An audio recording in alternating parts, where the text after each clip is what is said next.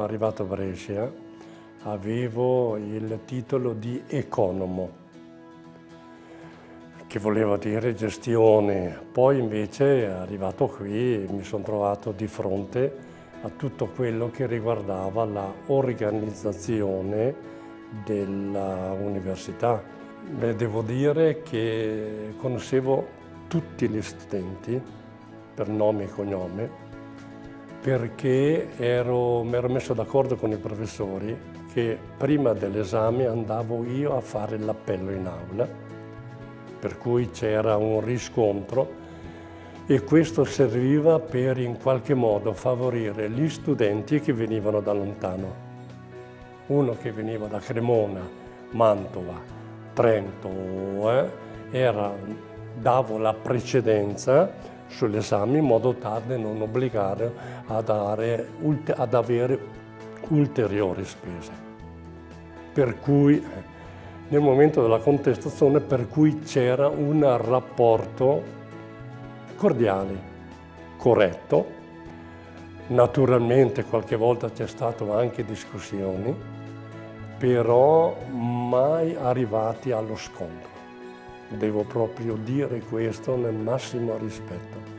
I professori e gli studenti parlavano di stile slompo, che voleva dire una certa comportamento All'interno dell'università stupidaggini o urli così non erano permessi. Gli studenti sui corridoi o da basso non li lasciavo tranquilli, perché dicevo siete qui, avete il vostro tempo, dovete sfruttare il vostro tempo per cui o a lezione o in biblioteca, al bar o qui a begolonare, niente. E rispondevano e andavano via. La stessa cosa con, eh, con i professori. Dicevo che per esempio mi trovavo con dei professori che mi venivano segnalati dai bidelli che erano in ritardo la seconda volta o la terza, ero in aula al suo posto per far capire che il rispetto nei confronti degli studenti vuol dire anche questo.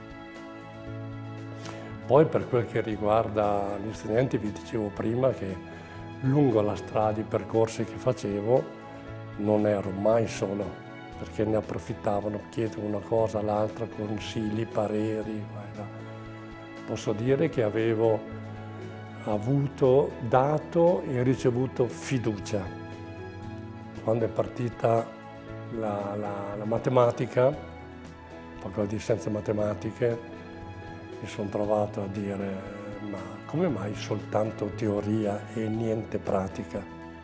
Allora attraverso quelle persone di cui parlavo prima, la rete, ero venuto in contatto con industriali di Lumezzane, di Cardone Valtrompia, poi con un professore qui che aveva il centro di tumori qui all'ospedale civile allora ho dato questi messaggi ai professori, i quali hanno cominciato ad avere dei rapporti con questo.